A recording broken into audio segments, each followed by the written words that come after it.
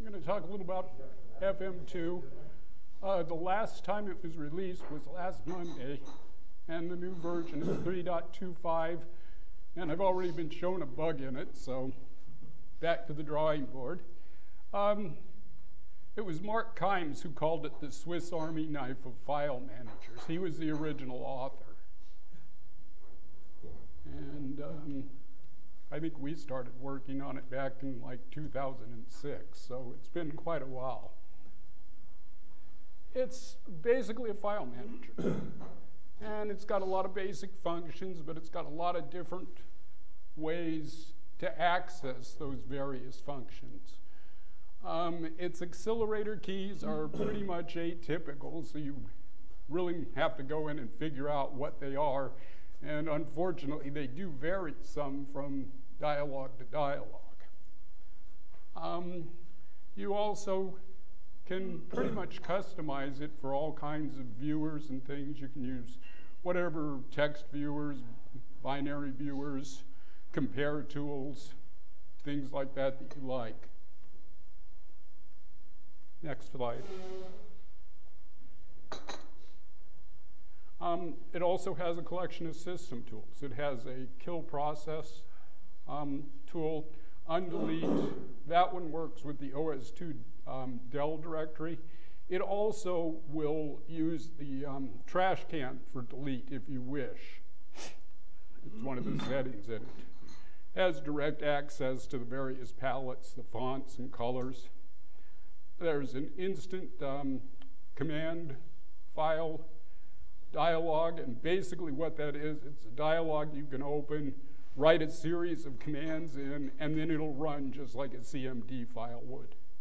So if you have something that you want to do quickly, has um, command lines, which are also savable. So if you have command lines that you use regularly, um, or command lines where you have several different variations on something depending on the switches you want, you can save those command lines and access them quickly.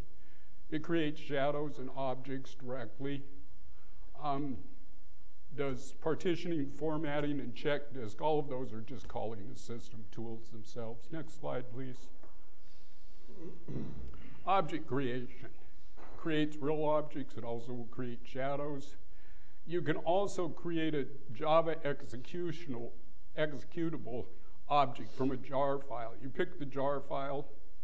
You pre-pick which of the various Java EXEs you want to use to run these. And then you can save the selection, you can put an icon on them, and they run the Java pro program directly. Um, they even will click create a folder for you if you wish. Again, you can view files. Um, you um, we have enhanced the uh, email and URL links in the viewer, internal viewers, if you want to use those, so they work much better. We also made them look a little prettier. Um, you can also use your favorite text editor or your binary editor or viewers, and you can have one viewer for each binary in text, and then an additional editor for each binary in text. And all of those are just selected off the menu once you've put them in the setup. Um, you also can tell it if you pick a, a, URL or a mail to or an FTP link, you can tell it what program you want it to use to um, open that particular type of uh, link. We also have associations, and we have our own. They're separate from OS2s. And the advantage to that is you can easily associate some file type with two different things. And oftentimes you want to open things with different files depending on exactly what you're doing. And it's really easy to switch between them because if you double click on it, you open with R association. If you control double click on it, you open with OS2s. So it's quite transparent. You can also put in a series of commands um, which you can run. I, for example, will I put build level in it so that I can just run build level on a DLL or a EXE directly from FM2 without having to go out and fiddle around with command line. Um, there are a lot of things that I do with that. In fact, I can quickly show you, give you an idea. That's my command line. That's my commands that I've created. Only the do it yourself. Oh, I'm sorry. Yeah. That's okay. I'm thinking that I was doing this with this computer, but I'm not. Sorry. Um, and they also, up across the top is a toolbar, which um, you can create custom tools with it so that you can actually either drag and drop files onto the tool, or you can select the tool and push the button on the toolbar and activate it on that file. Next slide. Okay. Um, have other types of viewers. We can view archives. Um, out of the box, it supports 12 different archive types and 33 different configurations of those.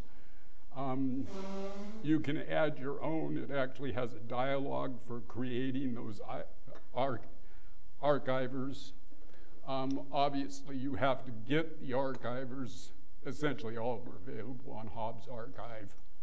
Um, it, it, edits any files and um, also regular and extended attributes are editable from it.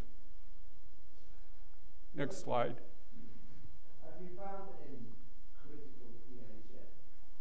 Uh, no, I haven't, but um, apparently Steve thinks they exist because he fixed our ability to handle critical EAs.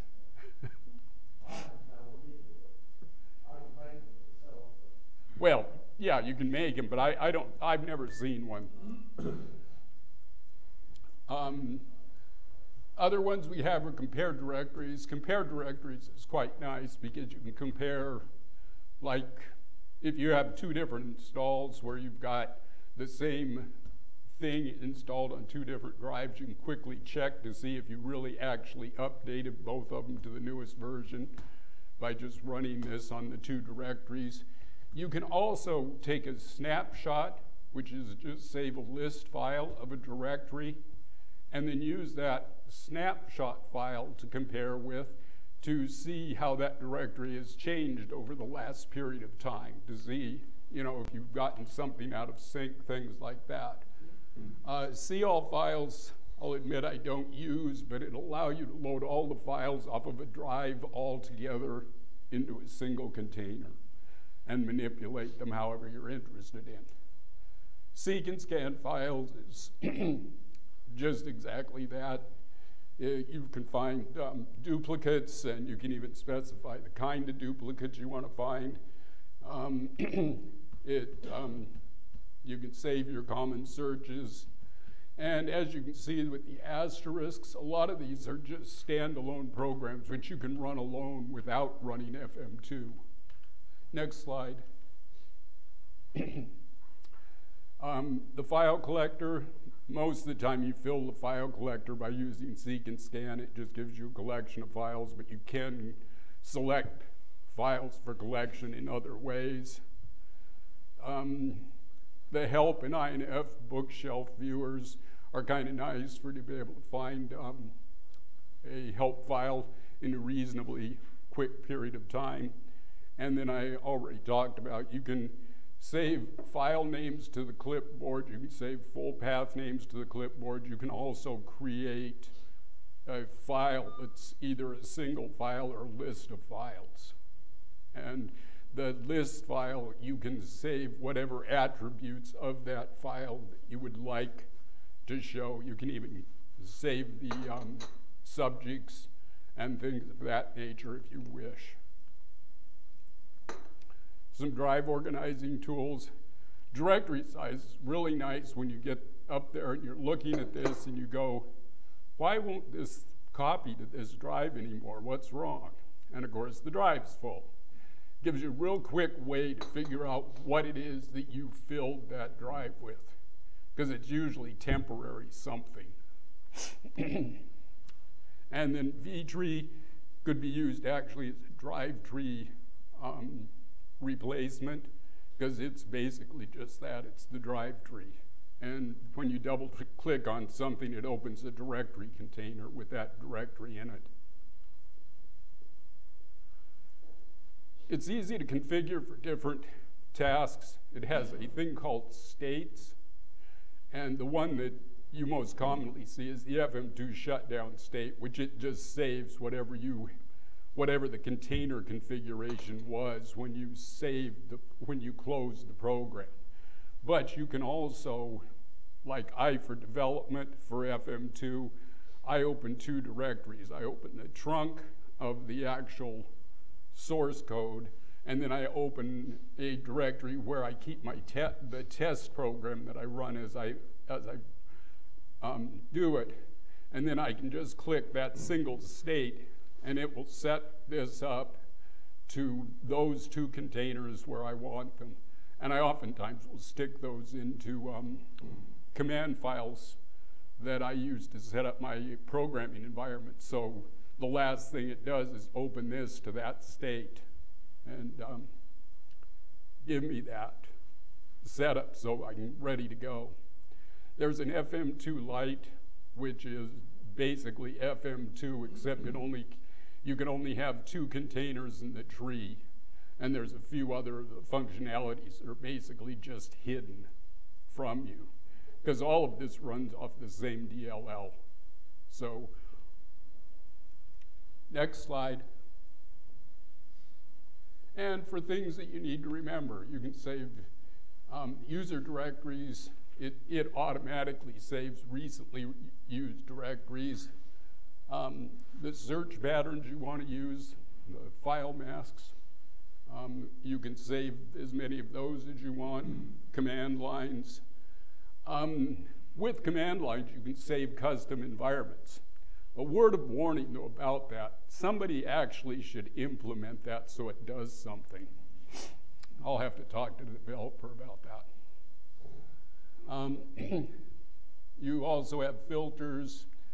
Um, you can remap drives, like if you have um, network drives that are available but not mapped to drive letters, you can map them here. Um, and you can set a default target for everything that target would be where you copy everything or where you extract your files or things like that. And it's pretty easy to set and unset so that if you're just setting it to do one job, you could set it and then at the end unset it. Because with it unset, um, yes? Uh, are the drives available outside of I believe they are. Yes. Um, and um, when you don't have a default target set, um, the target, if you have two directory containers open, the target from one of them is always the other one. So you don't have to oftentimes you don't have to go searching for things. That's, that's why my setup for FM2 works well, because when I want to copy the, the files over to the test directory, it's automatically the target. Um, this is a whole list of utility programs which I've included for your interest. Mark Kimes wrote all of these. We have the source code for exactly one of them, which I'll point out as we go through. But this is more for completeness than that I'm going to go through all of these different things. Next slide. And next slide. Next slide. Uh, this one, back one. Whoops, one forward one now. Yeah, no, it's back two, I guess. That's okay. Okay, now go forward. It's got to be here. I saw it. Keep going. One more. There it is. FM2 Play EXE is um, kind of a useful program. You can use it as a replacement for the um, for the audio players for CWMM. And the thing that makes it particularly useful is that it will play MIDI files. The actual, the actual players that come with CWMM and that come with MMOS2 won't play MIDIs. They just throw an error. But FM2 Play will play them. Iconify is also nice. You can batch um, create um, little icons for, um, for bitmaps and different types of, um, of image files, which show the, the image then is the icon for the, for the program. And you can select a whole bunch of them and just run it, and it does it. I know PMView does basically the same thing, but this is a way to do a quick batch of them if you want to. Uh, next slide. ImageEXE is the one program that we have the source to. And it's basically just an image viewer.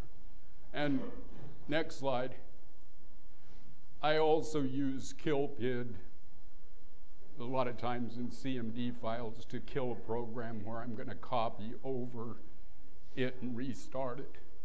Next slide, next slide, next slide, next slide, next slide, next slide, next slide, next slide, next slide, next slide, next slide, next slide, next slide, next slide, next slide, next slide. Okay. The newest changes. As you can see, Mark Kimes was quite a prolific programmer. And a, a, lot of those other utilities are useful for specific types of things. So that if you're looking for something that does a specific job, it's worth thumbing through that list and seeing if it's there already. Okay, the newest changes that we've done, and this is the last couple of versions, is the Java object creation. We've fixed several um, traps on scan and rescan. Um, we fixed some redundant error messages. Um, we've got it set up so that you can automatically unlock a DLL that you're trying to copy over. It will just ask you, and you can say, Yes, I want to unlock it. And it would occasionally give some strange error messages. Hopefully, I got rid of all of them. And it checks now on read only files and actually warns you that you're copying over a read only file. Historically, it um, just casually copied over it. Next slide. And I've used FM2. Occasionally, I try to build things that are really big. Qt6 comes to mind, um, where you need to try to get as much shared memory as you possibly can. And I found that um, replacing the workplace shell with um, FM2 gives me a little extra memory and basically gives me the same opportunity, build opportunity as without with the workplace shell. Um, we enhanced the compared um, directories to allow inclusion of subdirectories when you're comparing them. So if you want to compare a tree, you can compare everything all the way down the tree. Um, and then I already talked about the read-only files. Next, chain, next slide. Did some cosmetic things.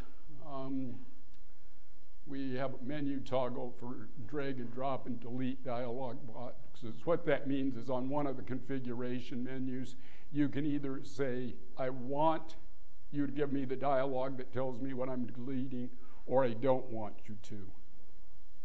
Um, we improved the um, formatting of the dialogues. I also moved the help button into the lower right-hand corner, where at least I think it belongs. Um, the layout, a lot, a lot of it was so that it'll work with some of the larger fonts that um, the new font change stuff that uh, Alex and Rich Walsh did. Um, so it works pretty well up to extra large fonts. Anything bigger than that will still corrupt it, but it's better at least. And um, we limited the help open on quick setting page to once per session. What that actually means is the first time you opened it and went to the quick settings page, it would actually pull up the help for settings to try to be helpful. Well, it wasn't very helpful when you, the fourth time that you pulled up the quick settings page because by default, the help always opens to the same page that you last opened to unless you've put it to, a to context for something else. And so um, it would open every time, so we fixed that. Next slide. Uh, yeah, we fixed a trap on rescan while you were while while a scan was running, and fixed failure to create real objects. Uh, fixed memory leaks. The last two were both really memory leaks. The broken linkage meant that whatever was between two spots in a container, uh, it didn't know they were there. They, you could see them and everything, but it couldn't delete them because it couldn't access them. Uh, next slide. And a few more traps. I had an interesting one where there was a no drop message you try to drop into the tree container. It was only on the first subdirectory of a tree. The second subdirectory worked fine. The top directory worked fine, but that one subdirectory didn't. And no, I did. And they weren't read-only. They were, they all were all the same. Also, there was some cosmetic things in the compare file dialogs where, where we had these interesting, while there, were no file, there was no file name because there was no file, the times and dates were all zeros, which is kind of an odd date. and um, we moved the scanning to a background thread to try to improve some of the performance. Next slide.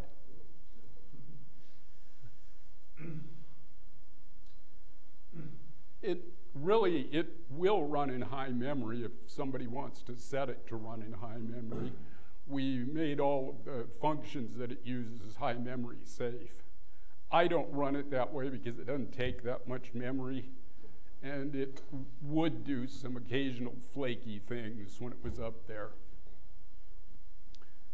Um, we fixed some of the direct edits, which is where you just type on a a label, a file name or something like that, and you can rename it right there in place just by typing on it. Um, and now, that now works correctly. And we fixed some other kind of under the hood sort of things like it attempting to double free container items as opposed to not freeing them. Maybe it was to make up for the ones that it didn't free. Next slide. And some issues that probably still need to be addressed. Apparently, I still have drive tree co corruption of the different names in it that is occurring, because I got shown that just a little bit ago. Um, well, CUA um, standard compliance for key assignments try to rationalize some of our strange key assignments need to use ISO units everywhere. Uh, get that environment to work would probably be a nice idea. And we'd like to get Archiver 2 to, to actually allow you to view an RPM, view the contents of an RPM file. And, um, and allow some command line and file mask, allow file masks string and strings to be passed from the command line. Right now, if you open Seek and Scan, the standalone Seek and Scan, you can't tell it anything until it's open. And we want to add to the command line that you can put, okay, search for star.c and search for printf or whatever it is you wanted to, and that it would come up and immediately start the search. Uh, next slide. Well, thank you for your time. Any other questions? Okay, thank you.